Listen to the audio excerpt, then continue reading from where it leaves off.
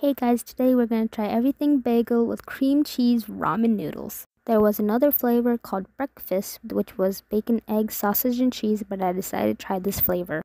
First, I took some water to fill it up to the line. Then I stuck it in the microwave to let it cook for 4 minutes.